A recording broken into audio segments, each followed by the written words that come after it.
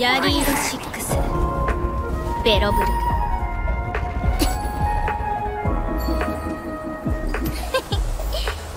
借りたら返してもらうよ。へえ。怖い顔しちゃって。大守護者様の命にここで泊まってもらおう。トパーズさん。はあ道理でこういう言葉があるわけだお金は借りた方が偉い。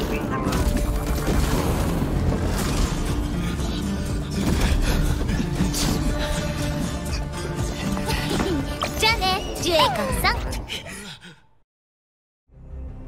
職務を円滑に進める秘訣は常に不利な局面を覆す準備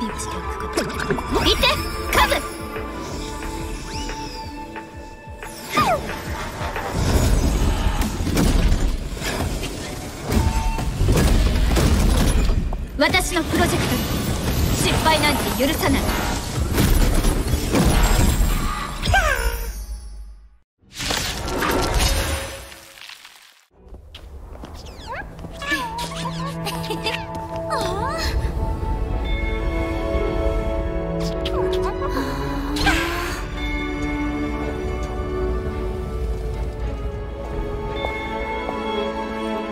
見て。